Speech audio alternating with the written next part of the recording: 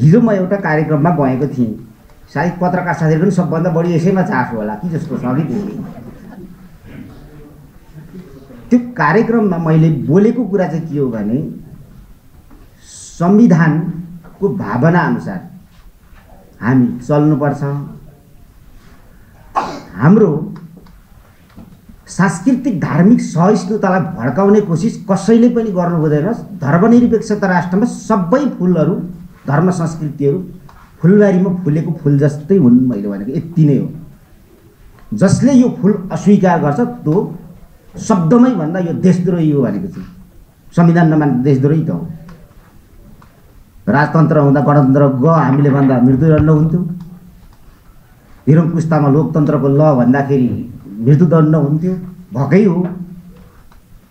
तर लोकतन्त्रमा चाहिँ त्यो हुँदैन। भन्नु पाइन्छ। लोकतन्त्रमा सडकमा लट्ठी चाहिँ घुमाउनु पाइन्छ अर्काको नाकमा चाहिँ हिर्काउनु पाइँदैन। यो चाहिँ सही हो फेरि। तर जसले सडकमा के भनौँ चिया पसलमा के भनौँ भन्दा पनि यही संविधानमा आधारित संविधानलाई मानेर निर्वाचनै लडेर जितेर आएको साथीहरूले चाहिँ संविधानलाई नै केन्द्रमा राख्नुपर्छ जस्तो लाग्छ। यो प्रश्न पनि गैर जिम्मेवारी प्रश्न हो। यो संविधान सम्मत प्रश्न हो।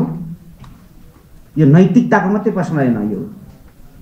यो सिद्धान्तको पनि प्रश्न हो जस्तो मलाई लाग्छ। र यस्तो प्रश्नहरू यही संविधान स्वीकारेर आएका मान्छेहरूले चुनाव जितेर आएका मान्छेहरूले गर्नु त शोभनीय हुँदैन जस्तो मलाई लाग्छ। कि त मान्दिनँ भन्नु पऱ्यो संविधान। मानेपछि त्यसको पनि